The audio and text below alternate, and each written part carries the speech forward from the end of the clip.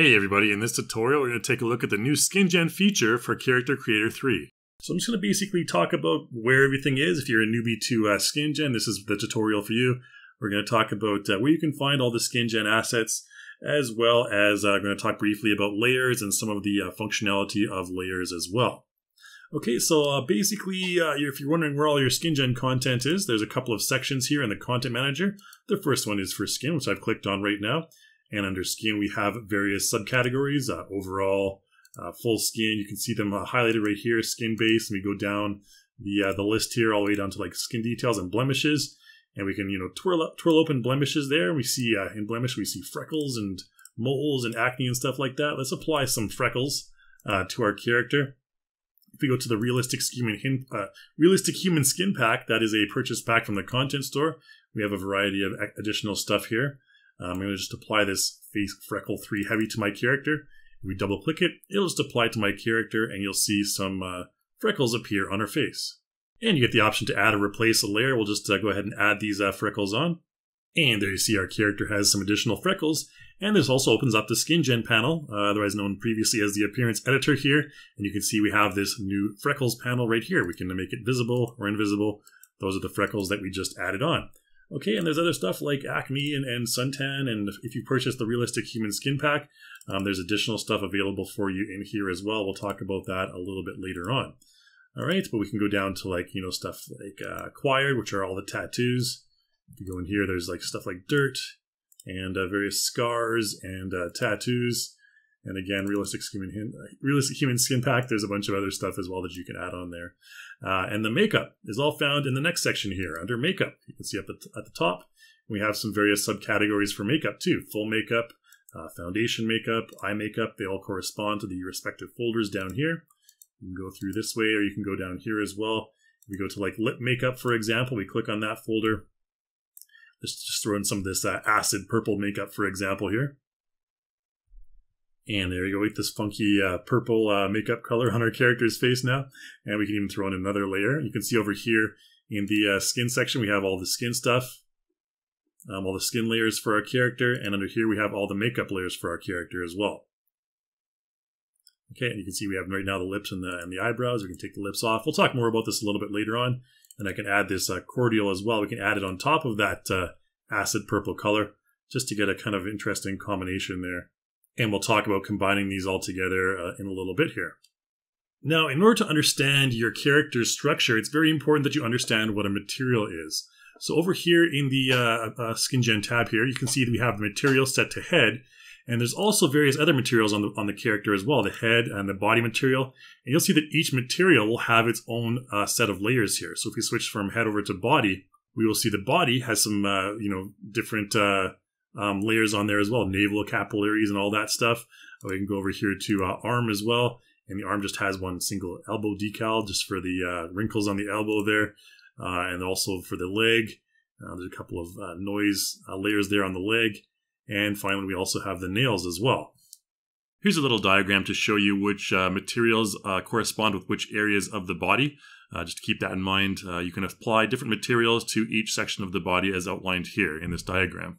So the skin and the makeup sections in your content manager correspond with these two sections in the uh, modify panel as well. These uh, in the in the SkinGen editor here, the skin section and the makeup section, and you can find all the uh, corresponding uh, layers that you can apply in the respective sections of the content manager.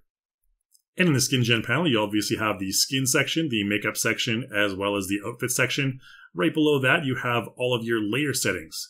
Um, we're going to talk about materials in just a moment here, uh, as well as texture resolution and all that stuff. And below that, you have your layers, your list of layers, and your control list, uh, all the parameters that you can adjust for those respective layers.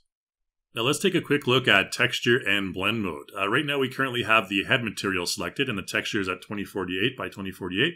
You can see if I zoom in really close, we get some really nice details on the on the cheeks, little discoloration under the eye, and then you can see the pores and everything.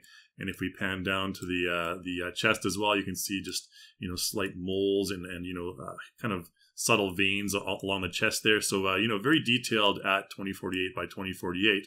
However, sometimes for the sake of speed, you may want to change the texture resolution to something lower. So if I select the head, I currently have the head selected. Right now they're all 2048 by 2048. If I change the head to uh, say 256 by 256, um, what's, what's going to happen is it's going to drastically reduce the uh, resolution of the head there, and you can see it's you know really really um, bland. Basically, there's no details on it. However, if we go down to the uh, chest, you can see the chest resolution uh, is still the same. All right, now if you want to update um, every material on the body at once, what you can do is you can just go over here and select update. Okay, and what that's going to do is that's going to update every single material on the body to 256 by 256. And you can see now all those uh, details are gone from the chest there. It just looks like uh, really bland. Okay, and uh, there you go. Now, if I change the uh, head, let's change the head back to, let's go to the body uh, just to make sure and check that it's uh, 256 by 256. You can see there it is. Okay, and the arm as well, 256, 256. Uh, whoops, and leg and, and nails. So you can see when I select update, they all update. Now, if I, for example, went to the body and I was doing some editing on the body and I figured that, uh, you know, I'm done the editing, I can take it back to uh, uh, 2048. So I'm going to ch change my texture size to 2048 only on the body. Okay, that'll just take a second to process. And you can see the uh, 2048 by 2048 texture is restored onto the body. Uh, very nice and uh, detailed there. However, if we pop up to the face, you can see the face is still, uh, the head rather, is still very bland and blurry. now, if we change, we don't have to go to update. If I change from the body material up to the head material, as soon as you exit the material that you're working on, say for example, I change from body to head, what's going to happen is now it's going to update all of those textures to 2048 by 2048, which is the texture that uh, texture resolution that I was just working on. Okay, so you can see that the uh, head resolution changes back to normal, and now everything from the head to the body to the arms, they are all back at 2048. So keep that in mind. You can update all the textures from here. However, if you also change materials, it's going to update them all to the same texture resolution as the material you were just working on. All right, so let's go back to the head here. And let's take a quick look at the uh, blend mode. All right, so to uh, demonstrate the blend mode, I'm going to apply a quick uh, lip makeup uh, layer here to my character. Let's just go for the, uh, I don't know, the cordial here. A nice uh, plump red, nice juicy red color. And that will automatically bring my SkinGen tool over to the makeup section here. And you can see we have the lip layer that I just applied there as well as the uh, eyebrows. We can make uh, both of them visible or invisible, just like that. Okay, no eyebrows is pretty freaky. Um, but if you, you can see when I select the uh, lip layer here, now we have the option for blend mode. And there's four different blend modes, uh, normal, multiply, overlay, and light. These are the same as your uh, uh, blend modes in Photoshop, basically. if I select normal, What's going to happen is normal is basically opaque. It's going to completely cover the uh, previous layer, so there's uh, nothing showing through. Uh, if we change this from normal to multiply, you can see multiply basically multiplies the luminosity of the base color uh, by the blend color. So you get a darker, more enhanced uh, look uh, on your blend. if we change that to overlay, Overlay basically combines the multiply and screen blend modes. Um, if your base color is light, it's going to make it lighter on the top. If your base color is dark, it's going to make it darker, just like that. Uh, and if we change from uh, overlay to soft light, you can see it kind of just softens everything. It can darken or lighten certain colors depending on the blend color. Uh, basically, it's like shining a diffuse spotlight on your image. And you can see this image here has explanations for each individual uh, blend mode. You can kind of read them here and get more familiar with them that way. All right, now right below the uh, layer settings section here that we just talked about, we have a couple of other options here. This one is for show and hide. If we uh, open up this option here, we can show all layers. We can show um, the current uh, on the current material or for all materials. Okay, we can hide all layers on the current material or all materials. So, if, for example, if I hide all layers on on the uh, current material, it's going to hide all the layers on the face. So all of these um, uh, ones here have been hidden. And if we uh, show all layers on the current material, you can see that it looks a lot more natural. We have those, you know, uh, freckle adjustments and everything uh, added on there. And of course, you can do the same thing for uh, hide all layers on all materials and uh, show all layers on all materials as well. Now that'll be for the head, body, arm, and so on and so forth. Keep that in mind.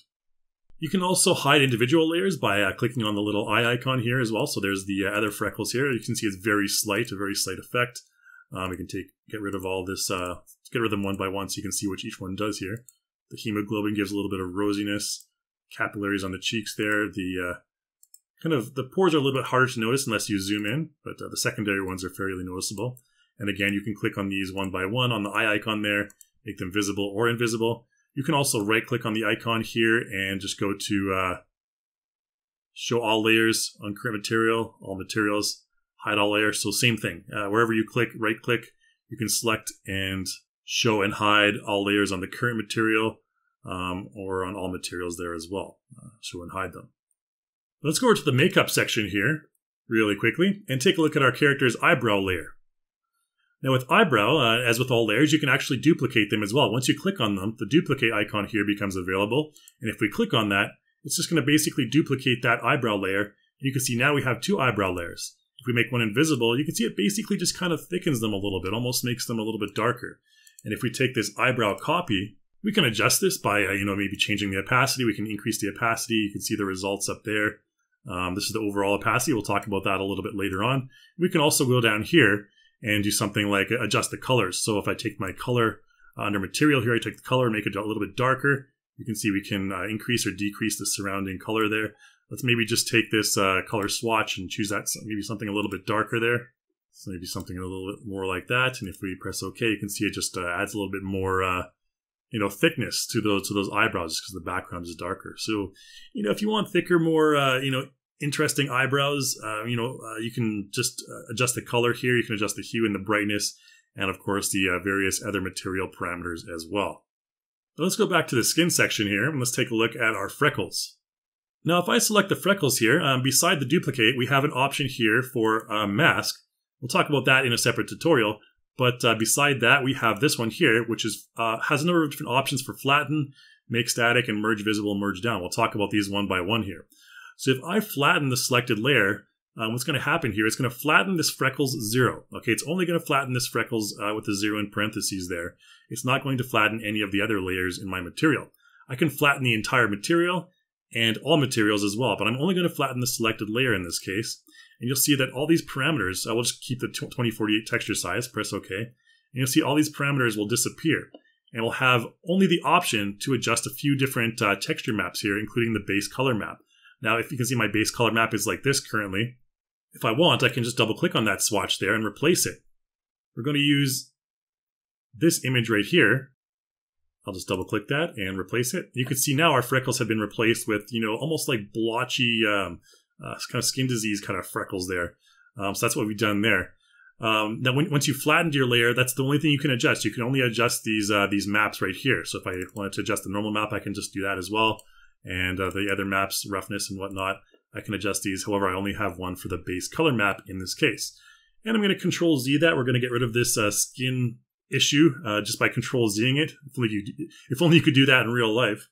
But that's basically what flattening a layer does. And flattening a layer will actually see, help to save resources when you're loading up your, uh, when you're adjusting your layer, when you're loading up that section of your uh, SkinGen editor. I'm just going to control Z, Z this again here. And this will take it back to the original layer with the various different parameters, which you can see here. A lot more stuff we can adjust. All right.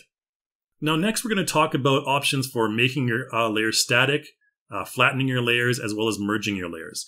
Now, in this image here, you can see a number of different options uh, that you can use to activate your editor a lot faster by saving resources. And these are make static, uh, flatten, and merge, and we'll talk about these as we move along. Um, making static basically temporarily sets the layers into static mode and we're not going to be able to edit that. Uh, you have to make them dynamic again. We'll talk about that. Uh, flattening them, basically just kind of flatten everything. You bake all the image layers. Um, this greatly increases the speed uh, when you're you know um, switching modes in SkinGen. And merging basically merges all the layers into a single texture. And we'll go through that as well in just a moment here. Okay, so let's talk about the make static option first. Okay, so we can select uh, any any of the uh, layers here. It doesn't really matter. Let's go over here and under flatten and select make static. Now we can choose make static for the selected layer, uh, the current material, and all materials as well. So if I wanted to uh, make static the uh, current material, for example, that'll make all the layers static. So I'm just going to go ahead and select current material and change it to 2048 by 2048. That's fine. And what will happen here is you'll see the kind of the images for each layer have gone gray. There's a little gray uh, border on this on the left side here as opposed to green. And if we select them all, the only option we have here is to edit the layer mask. Okay, we, we don't have the option to edit anything else. So base color, if we double click on that, normal, nothing. Okay, uh, freckle, hemoglobin, all these layers, uh, same thing. I can double click on the mask though, and we can adjust the mask if we want. but I'm not going to do that in this case. All right, you can make each individual layer uh, dynamic by clicking on Make Dynamic here. Okay, so for this freckle one, you'll see it returns, returns to the uh, green border on the left there, and all the others remain gray. If you want to make them all dynamic, let's just go to Make Dynamic and select Current Material. Okay, and now you can see they, they all return to the green border on the side, and we can modify all the various parameters down there. So let's talk about merging next. Okay, so merging again saves resources. Uh, you can merge visible. I can merge the current material or all materials again. I'm just going to go ahead and merge the current material. Let's take a look what that does. If we press OK, notice that it basically merges everything into a single skin base. And if we select that skin base, we can see our base color map right here. Now this image will show you a before and after of your uh, base color maps once you merge. You can see the after base color map merges that freckle layer onto my character's face. Okay, so just be aware that any other layers you add once you merge, those layers are also going to be baked into your base color map. I'm going to control Z that really quickly. And you can see all the uh, layers return to, uh, to normal here. Now, uh, one uh, special thing about merge is there's an option for merge visible as well. So for example, if I make these uh, this zero freckle here invisible, and I go over here to my merge, and now if I select merge, merge visible for the current material, I won't have the freckles on that base color map. However, if I select merge down and I select merge current material, let's go ahead and press OK. If we go to our skin base here, you'll see that those freckles will no longer appear in our base color map. All right, so I'm going to press Control Z and quickly undo that. Whereas if I have this visible, and I right click and uh, you can also merge down from here as well. So merge down. We'll go to uh, current material. 2048 is okay. If we go to our skin base, now you can see in the base color map, it will have those freckles. And also the freckles will remain on our character's face. So just keep that in mind when you're merging and you merge down, um, anything that you have invisible will not be merged into the final into the final merge, I guess you can call it. Right now, in addition to uh, you know merging all the layers and everything like that, you can actually click and drag these uh, various effects on top of each other. So all you need to do in this case is just like, say for example, we click on the capillary cheek, we can click and drag this layer just like this to the very top. And again, with this particular situation, it's not going to make much of a difference. I can take the freckles, can click and drag them all the way down to uh, below everything. And again, because we're not really layering too much on top of each other, it's not going to make much of an effect. But that's more more for like a makeup effect. If you have makeup that's on, you know, one layer on top of the other, uh, you can blend them and, and basically kind of click and drag them and move them on one on top of the other uh, for various different effects. All right, now in this section, we're going to talk about material linking. So you can actually apply material effects that affect uh, multiple materials at the same time, and that's what we're going to do right here. So I'm going to go over here to my uh, skin uh, blemish under uh, Suntan Realistic Human Skin Pack. I'm going to apply this Sunburn Cloud to my character. We're going to give him an Insta-Tan. And you can see here that the poor guy forgot his uh, suntan lotion and got a little red on the uh, chest and the arm area. Now, currently we're on the uh, body material. You can see we have the uh, sun, uh, sunburn uh, noise and sunburn full body layers here. And the sunburn noise has all the effects and stuff for the noise. If we go over here to the arm, we have the same layers on the arm as well, sunburn noise and full body here. Okay, and all the same parameters and so on and so forth. Now, if I go back to the body here, for example, uh, notice at the top, we have this section here that says uh, link controls. Okay, uh, link control currently it's activated. We can deactivate it just by clicking it, just like this. Okay, uh, however, right now it's active. Uh, if I go down to, uh, let's say, the colors, and I just see the secondary color of my sunburn here, let's change it to something a little bit darker. What's going to happen is if I go down here, maybe to like not too dark, but maybe don't want to burn the poor guy more than he is. We'll just go ahead and select that color. You can see that the chest will update there. Okay. However, the arm isn't updated even though link controls is on. Uh, in order to make the arm uh, correspond with the uh, chest, I need to go over here to update under texture. Okay. So once I select update, then the arm is also going to update with that uh, new uh, change that I just made there. Okay. You can see it's a lot darker there on the arms. Uh, if I want, I can just go back and make it a nice lighter color because that seems a little bit too too dark. Uh, just press OK. It's going to update on the chest, again, not on the arms, so I need to go up here to update. And that'll update the arm as well. Now, if I deselect link controls, and uh, currently I have body selected, and I change my secondary color to, let's say, like a nice uh, toasty uh, red here, for example, and I press OK, it's going to automatically update the chest. Uh, it's not going to do anything with the arm, it's only going to update the chest. Uh, you can see right there, I can change it back to, you know, a nice, more tan color like I had before and it's only going to affect the chest and not the arms.